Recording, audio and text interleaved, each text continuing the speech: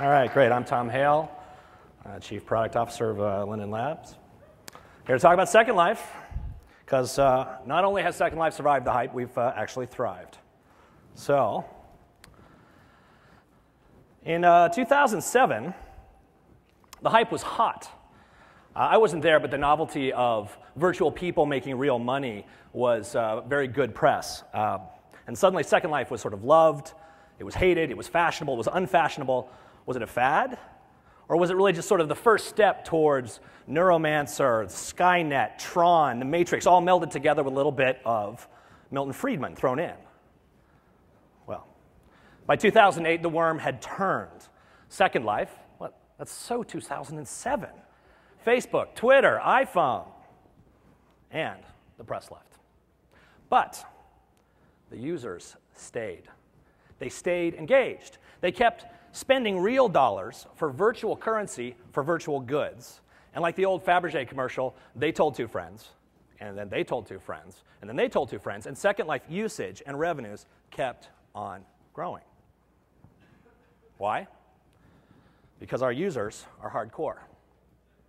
Now, get your mind out of the gutters. I know what you're thinking. It is not that kind of hardcore. In fact, when we looked at the data, the amount of sex in Second Life is about 15% based on search terms or items in the catalog or parcels that are identified as um, uh, adult. By hardcore, I mean hardcore engaged. In fact, our, our users are so hardcore, we don't call them users, we call them residents. And they are the reason why Second Life survived the hype. So let's talk a little bit about those residents. The killer app for the majority of people in Second Life is, wait for it, each other. Socializing in real time in interactive 3D environment, that's what drives the engagement. Meeting people, joining communities, attending concerts, talking to each other. In fact, the average Second Life user spends 40 hours per month in Second Life. That's 100 minutes average session time, and 25 of those 40 hours are spent talking. Second Life does a billion voice minutes per month. Now that means Second Life is a social platform. Users come to communicate, to express themselves and they're highly, highly engaged. Now, there's another kind of user, the geek. At the peak of our hype, Second Life was featured on NBC's The Office with uh, uh, Dwight Schrute as sort of the prototypical geek. He wanted to make an application to convert uh, Linden bucks, Schrute bucks into Linden dollars. And uh, the alpha geek, the, the early adopters, helped Linden to make Second Life. They extended it. They built applications out of it. They built games on top of it. They, they built scripts. They sold the scripts. And while Second Life has its Dwights, it also has its Pams and its Jims. Turns out it has a lot of Pams. About 50% of the usage in Second Life is from women. So, what's the lesson there? You need a broad appeal. And how did we get a broad appeal? Well, it turns out we outsourced that. It was our content creators and our developers who built the broad appeal because there's something in Second Life for everyone, whether it's one of the 250,000 new items created each day or something from the existing corpus 270 terabytes of 3D objects, of textures, of scripts.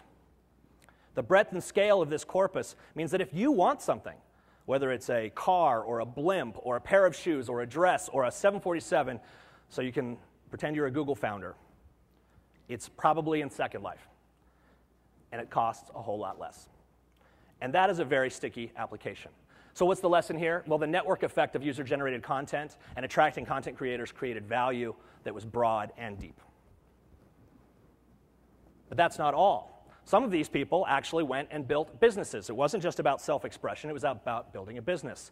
These are the, the merchants, the people who created nightclubs, who sold houses, the builders of brands, the, the merchandisers of the experiences that attracted and engaged users. About 10% of our user base makes enough money in Second Life to subsidize, subsidize their Second Life activities. And a, a small number of them actually make a full time living in Second Life. And if you take the whole economy, it's about half a billion dollars. It'll be half a billion dollars this year of user to user transactions on our platform. And that's all done in the Linden dollar, which has been very stable compared to the US dollar, which has been very unstable. So the interesting thing here is our most successful merchants are making hundreds of thousands of dollars from Second Life. But they're not the only businesses that are in Second Life. Most, most people think about Second Life, they started to think about it as a marketing platform, but that, that was actually a total mistake. it's training, it's simulation, it's company events, it's collaboration. These are the use cases that are bringing enterprises to, to look at Second Life and at, at virtual worlds in general. And this is totally enabled by that user generated content because if you want to have a great event with all these things, it's already been created and you can just bring it together. Today, there's over 250 businesses in Second Life. They're generating millions in revenue for Linden Lab and driving us to provide them solutions that they need, like a behind the firewall solution. There are other communities, the educators. They're incredibly passionate, they're incredibly committed. There's 600 universities that are, that are using uh, Second Life as a teaching platform. If you can't go to Rome, if you can't go to Chichen Itza in real life, you can go there in Second Life and you can learn a lot about it. There are also the charities. Uh, our mission is actually to try and do uh, to improve the human condition, and happily that improves doing good by doing well. Some of the most successful charities are in Second Life raising money. They're using our microtransaction currency and our frictionless economy to gather money. 250,000 was raised for the Relay for Life by the American Cancer Society this year, all from very, very small contributions. So, what can you take away from how Second Life survived the hype? Well, the mistakes that we made and the lessons that we learned could fill many, many books. But here's a few high points for you. One, think big. Two, listen to your users. Three, create what Tim O'Reilly would call an architecture of participation. Don't get caught in the hype, up or down. Instead, know your users, serve their needs, focus on their needs. And when success comes, you will make mistakes. Today's compromise will be tomorrow's architectural liability. And then, most importantly, find your business.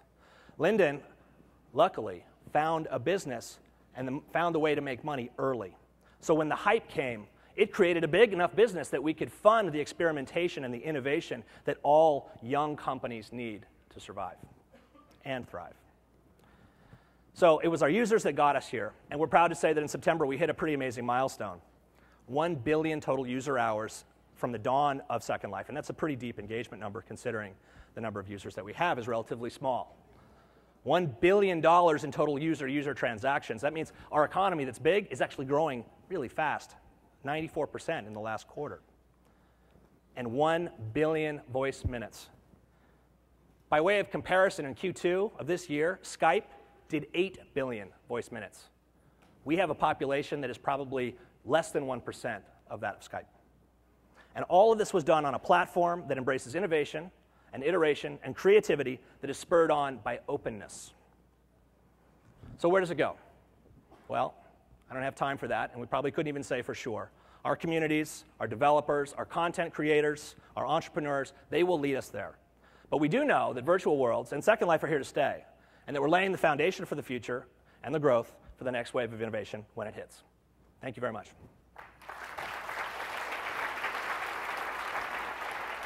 Oh, I'm sorry. I, I, I forgot something. There, there Go nuts. Saying. I, can, can, we bring the, the, slide back? Lauren, can we put that back up? Sorry, I forgot. Um, we just thought it might be kind of a nice idea just to, um, you know, I mean, I don't want to put too hard. Just, just a little letter for our friends over at Twitter. Just since we've been through it and they haven't, just share it. You guys can read it. It's up on the web if you want. But, but thanks, uh, thanks for listening and, and good luck with the hype all of you. Thanks, man.